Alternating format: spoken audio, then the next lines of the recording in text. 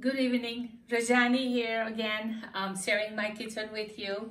Today I am making um, oatmeal soup. Yes, oatmeal soup with um, celery, mushroom, and shredded carrot. And then um, I showed you yesterday the barley. Today, pretty much the same soup, but I'm using oatmeal. So um, you can use olive oil, but I use um, and then it doesn't have to be a whole tablespoon. It could be a teaspoon of um, butter.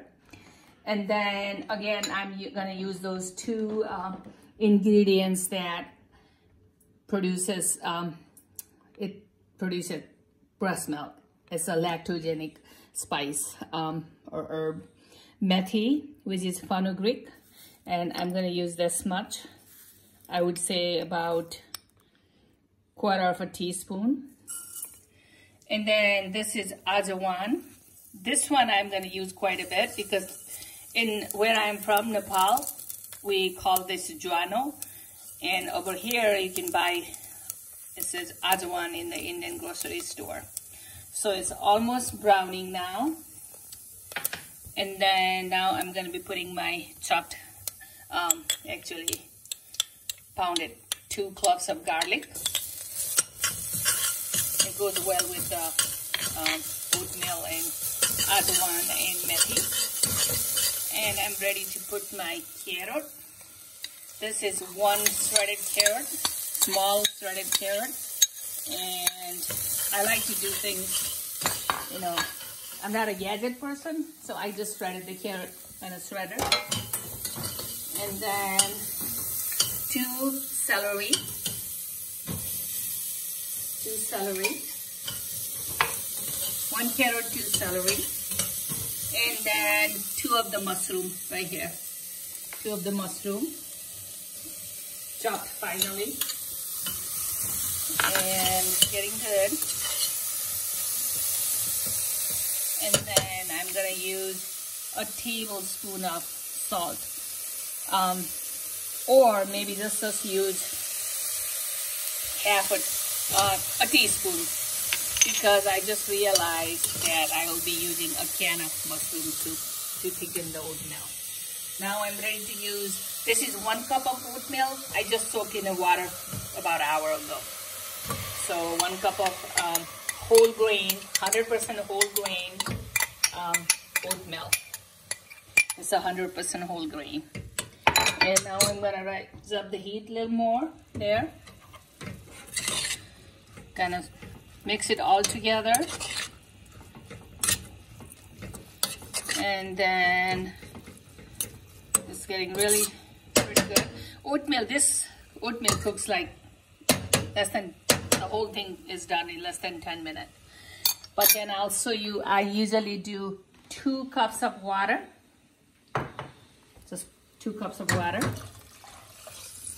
And I use a can of cream of mushroom soup. A can of cream of mushroom soup. And I use this, I could use this on barley soup. Um, if you don't have, if you don't want to use all the vegetable, you just want to do ajwain and garlic and methi and maybe carrot. If you don't have celery, if you don't have mushroom, you don't have to use it.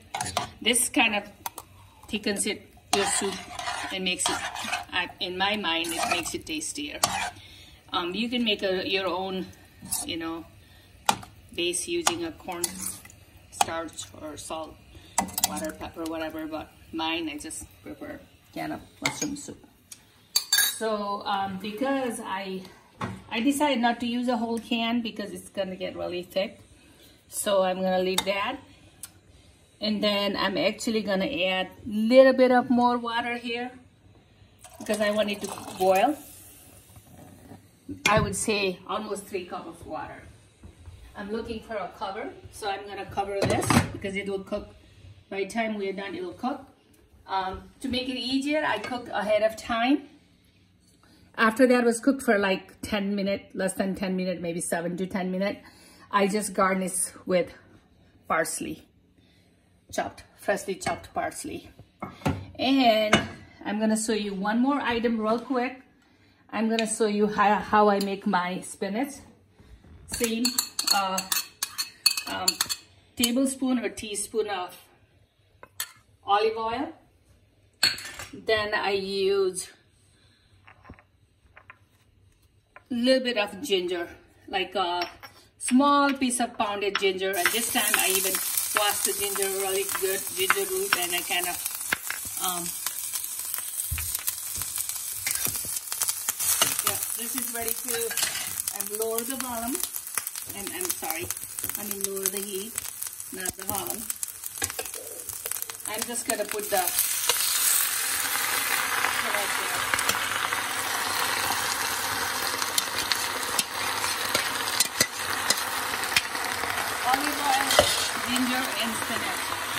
If you like, if you like to put um, ajwain and methi, you could do it. I thought maybe you get tired of smelling the same thing, so I want to make it something different.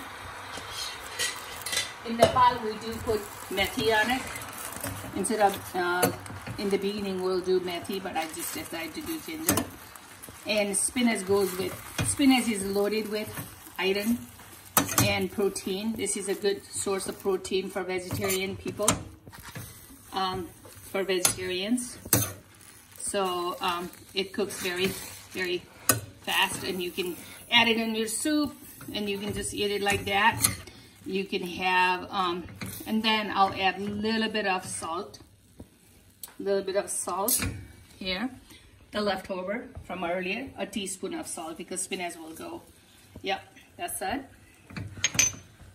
and we'll move it one more time because I'm I will be serving this very soon with my family dinner also. Okay, so let me and the spinach instead of olive oil you could use sesame oil. In Nepal we use mustard oil that kind of gives you the flavor, um, but ginger already brings quite a bit of flavor. So, and again, if you would like to have more lactogenic spices, then you can always use methi and jono, methi and ajwain in your spinach also. So as the spinach is cooking, very quickly, I'm gonna uh, make a plate ready to show you how I I made this rice. Um, I have already shared a recipe with you with green peas, exactly same recipe a cup of rice, two cup of water, tablespoon of um, um, butter, ghee, and then one shredded carrot, and um, and, and then I use half of small red onion, and then um,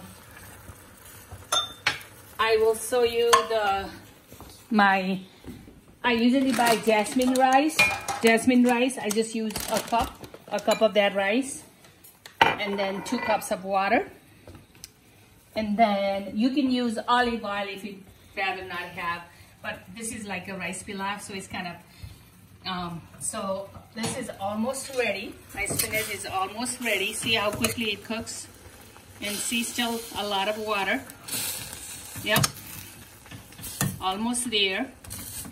Now I'm gonna quickly have this plate ready this is that rice we just cooked and I just used some parsley for garnishing. Kind of looks pretty and any green vegetables, green, you know, any vegetable is good for you. All the vegetables have a lot of, okay. And then you have that soup. And for, for people who like tuna, this is something easy and it's full of nutrient. Again, tuna has protein, iron, and it also has alpha omega um, fatty acid. So this is something, and then I use here for, the, for one can of tuna, one can of tuna, which is eight ounce or six ounce, eight ounce, I believe. I use half a half of tomato, green onion, uh, red onion. You can use green onion in the season, two cloves of garlic, you can put whatever vegetable, but then I kind of saute it like I just did it with other, and then I like little spicy stuff, so I use a one green chili pepper also. So this is also really good food for, um, you know, something quick. So um, we're gonna share, I'm gonna share this with my husband. So there's my tuna. You can put more, you can put less. And then this is almost ready here, my spinach. And I let the water be there, you know, it's okay. But I just serve the spinach like this. I'm gonna turn it off actually. And we'll have it here. And I will quickly put this oatmeal soup that I made earlier, but that is almost ready too.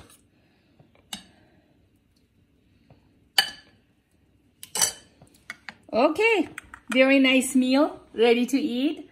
From Rajani's home to your home. Thank you for watching my YouTube video. Please subscribe, share with your friends and family members, and like it. I will continue one dinner, one meal at a time. Thank you very much. Good night.